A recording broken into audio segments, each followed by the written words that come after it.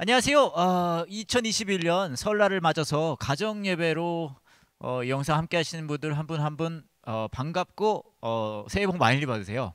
어, 이 시간 저희가 설날 감사 가정 예배를 맞아서 함께 나눌 말씀은 시편 128편입니다. 시편 128편인데요. 제가 읽어 드리도록 하겠습니다. 예배드리러 올라가는 자의 노래 여호와를 공경하고 두려워하는 자는 복 있는 사람입니다. 그분의 말씀대로 사는 자는 복 있는 사람입니다. 그는 수고의 열매를 먹게 될 것입니다. 복과 번영이 그의 것이 될 것입니다. 그의 아내는 열매 맺는 포도나무와 같을 것입니다. 그의 집안에 있는 포도나무와 같을 것입니다. 그의 식탁에 둘러앉은 그의 아들들은 올리브 나무의 새싹들과 같을 것입니다.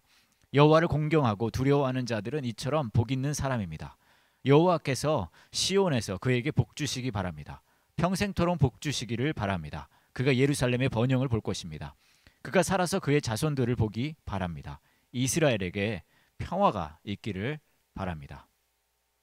민족 고유의 명절 설날입니다. 하지만 이번 설날은 이전의 설날과는 좀 다, 사뭇 달라 보입니다.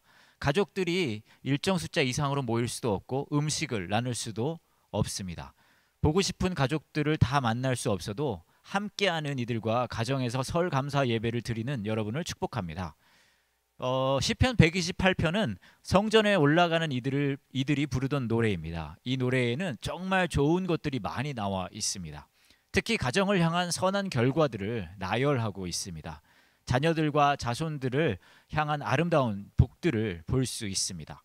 포도나무 같고 올리브 나무 새싹 같다는 식물성 표현들이 어, 많이 나오는데요. 정확히 무슨 뜻인지는 모르겠지만 왠지 좋아 보입니다. 포도나무와 올리브 나무는 곡물과 더불어 팔레스틴 지역의 주 산물이면서 그들의 일상생활을 풍요롭고 가치 있게 해준 수확물들이었습니다. 우리에게는 낯선 표현일 수 있지만 당시 사람들에게는 풍요로움과 평화로움을 표현하는 정말 비주얼적인 표현인 것이죠. 정말 잘 될 거라는 이야기입니다. 여기서 잠시 멈추어 어, 지금 함께하고 계시는 가족들을 향해 덕담 한마디씩 건네볼까요? 어, 올 한 해 상대에게 꼭 일어났으면 하는 선한 일들을 기도하는 마음으로 이야기해 보겠습니다. 아 그런데 너무 길고 디테일하면 꼰대처럼 보일 수 있으니까 살살 적당히 사랑하는 마음을 듬뿍 담아서 해주세요. 특별히 할 이야기가 없으시다면 오늘 본문에 나온 식물성 표현을 해주셔도 좋을 것 같아요. 포도나무와 올리 포도나무 열매와 올리브나무 새싹 같아져라. 듣는 사람이 기분이 안 좋을 수도 있겠네요. 아니요, 뭐 그냥 새해 복 많이 받으라 이렇게 서로에게 잠시 덕담하는 시간 갖도록 하겠습니다. 네, 저 보시지 말고 주위 분에게 덕담하시세요. 함께하는 가족에게.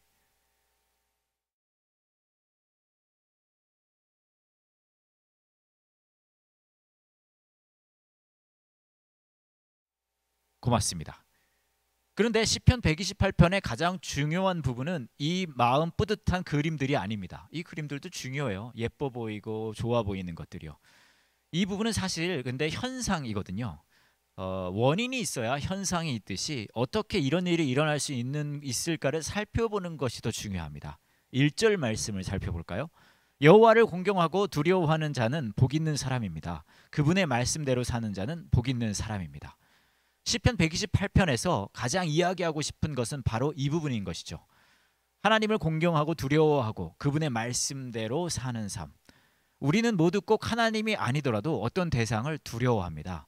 미래에 대한 불확실성, 돈, 명예, 건강, 다른 사람의 시선 등등 여러분의 삶에 무엇이 가장 두려운지 궁금하다면 요즘 여러분이 어떤 걱정, 생각, 불안함을 가지고 있는지 한번 생각해 보세요.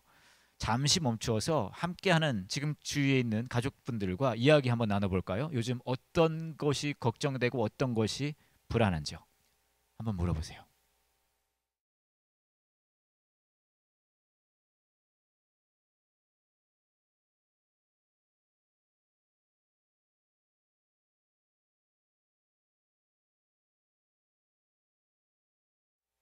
내가 두려워하는 대상이 내 안에 하나님의 자리에 있습니다.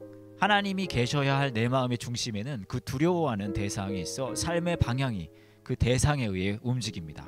생각, 언어, 감정, 행동, 결정이 모두 그것이 두려워하는 그 대상이 중심이 됩니다.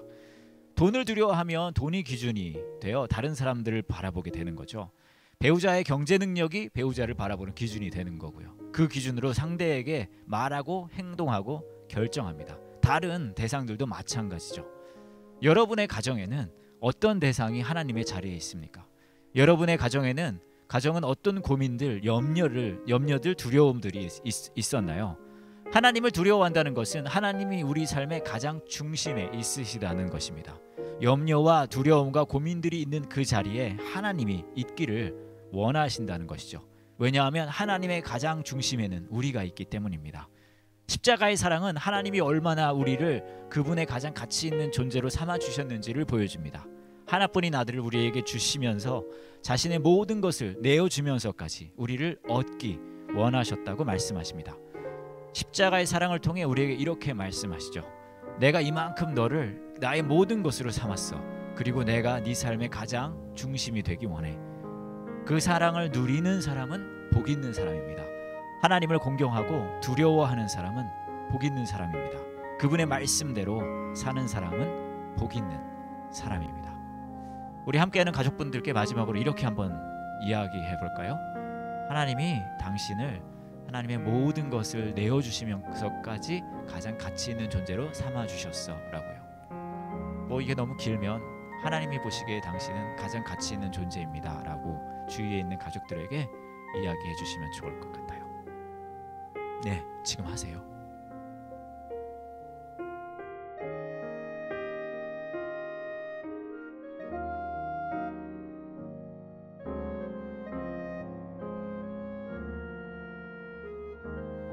우리 함께 같이 기도하실까요?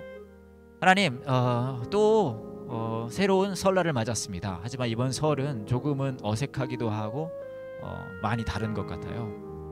많은 가족들이 모여서 어, 음식을 나누고 사는 이야기 나누는 그런 명절이 돼야 할 텐데 어, 주어진 상황 때문에 어, 많은 가족들이 함께 할 수는 없지만 지금 함께 하고 있는 이 가족들 어, 이렇게 함께라도 하나님께 예배할 수 있게 해주셔서 감사합니다. 특별히 이 시간 저희가 바라고 원하는 것은 어, 우리 가정이 하나님을 가장 두려워하는 가정 되기 원합니다. 하나님을 경외할 수 있는 가정 되기를 원합니다. 우리가 두려워하는 대상들이 자리를 잡고 있는 우리 삶의 가장 중심에 하나님이 계시기를 원합니다. 어, 그래서 이 세상이 줄 수 없는 그 아름다움, 포도나무 열매 같고 올리브 나무에 새싹과 같은 그런 복이 우리 가정에 풍성이 있기를 또한 소망합니다. 128편에 나온 이 아름다운 이야기가 우리 가정의 이야기가 될 수 있게 하나님이 우리의 가장 중심 되어 주세요. 우리를 하나님의 가장 중심 삼아 주신 십자가의 사랑을 누릴 수 있는 우리 가정 될 수 있게 하나님 함께 해 주세요. 예수님의 이름으로 기도합니다. 아멘. 해피 설날 되세요.